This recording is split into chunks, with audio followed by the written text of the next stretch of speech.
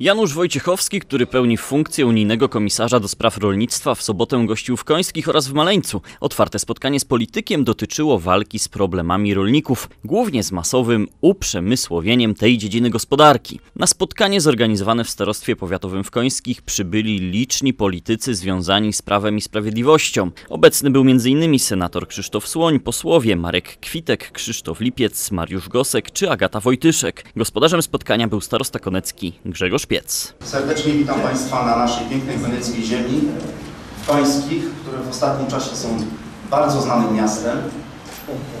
Bardzo się cieszę, że Pan Komisarz przyjął zaproszenie na dzisiejsze spotkanie i dziękuję również Państwu, że w ten piękny poranek sobotni przyjechaliście do Końskich.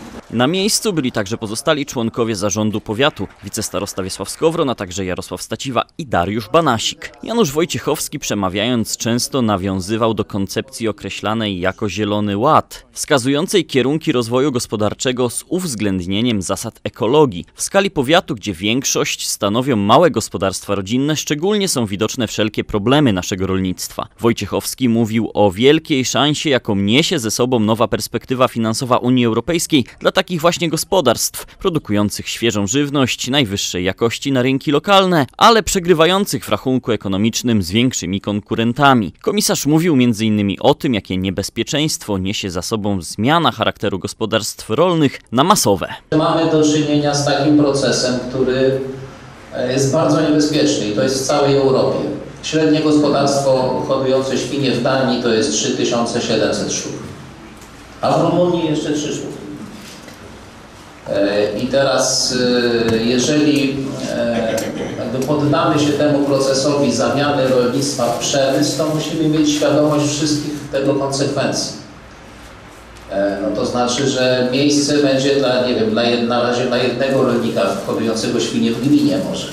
Niedługo dla jednego w powiecie, potem dla jednego w województwie i tak dalej. To, to są bardzo e, niebezpieczne procesy i Między innymi dlatego jest ten Zielony Ład w rolnictwie, który jest ogromną szansą.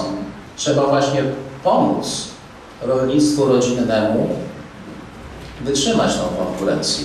Nikt nie, nie będzie zabraniał dużych hodowli, ale trzeba pomóc tym, którzy mają małe hodowle. Trzeba im pomóc, trzeba skierować pomoc unijną, która, jest, która może być naprawdę duża i, i, i znacząca żeby takie gospodarstwa mogły egzystować. To znaczy musi się skończyć proces eliminacji produkcji rolnej ze wsi, zastępowaniem taśmową produkcją przemysłową.